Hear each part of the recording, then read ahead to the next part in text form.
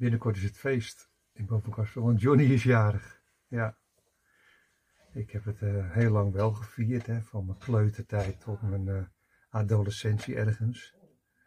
En toen heb ik ideeën gehad over mijn verjaardag, dat het niet uh, gevierd hoeft te worden, of dat ik het stom vond. Of, nou ja, ik had in ieder geval ideeën over.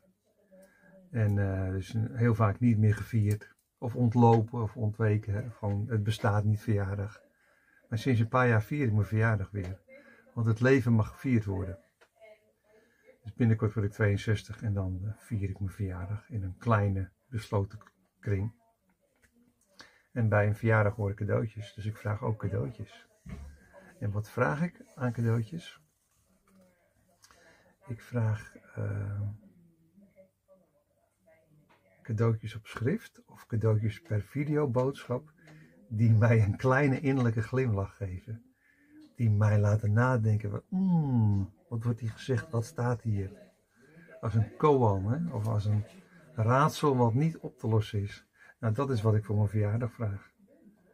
Dus waarschijnlijk word je niet uitgenodigd voor mijn verjaardag, maar als je me iets wil geven, geef me dan iets verrassends op schrift. Geef me iets inspirerends. Geef me iets wat me aan de twijfel brengt geef me iets waar ik een soort klotsende oksels van krijg, omdat ik geen antwoord weet op de vraag. Ja, dat dus.